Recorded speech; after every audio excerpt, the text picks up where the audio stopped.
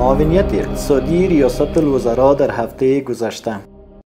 محترم ملا عبدالغنی برادر آخوند. معاون اقتصادی ریاست الوزراء از بخش های مختلف شرکت انکشاف ملی دیدن کرد و در بخش بازسازی کشور فعالیت های این شرکت را ستایش نمود. محترم ملا عبدالغنی برادر آخوند معاون اقتصادی ریاست الوزراء گفت شرکت انکشاف ملی در مدت اندک دستاوردهای فراوان دارد و توانمندی های نظام اسلامی و افغانها را به بهترین شکل به جهان نشان داده است. همچنان معاون اقتصادی ریاست الوزراء محترم ملا عبدالغنی برادر آخوند ضمن ستایش فعالیت های شرکت انکشاف ملی از همکاری همه جانبه خویش را با این شرکت اطمینان داد.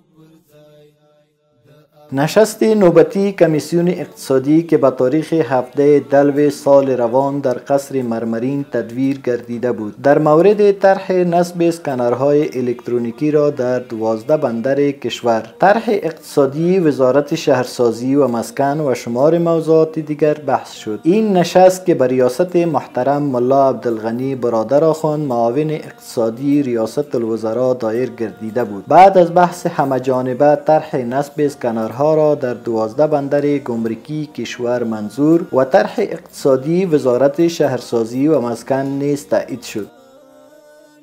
در جلسه نوبتی کمیته تکنیکی کمیسیون اقتصادی که به تاریخ 16 دلو سال روان در قصر مرمرین برگزار گردیده بود. طبق اجندا پیرامون تعدادی از موضوعات اقتصادی بحث همه جانبه صورت گرفت. در جلسه گزارش مکمل مطالعات ابتدایی امکان سنجی فاز دوم بند کمال خان پیشکش گردید. پس از بحث و تبادل نظر همه جانبه به کمیته تعیین شده وظیفه سپرده شد. تا با در نظر داشت مطالعات مطالعات انجام شده مطالعات تکنیکی دقیق امکان سنجی را انجام و گزارش خوش را به کمیته تکنیکی کمیسیون اقتصادی ارائه نماید.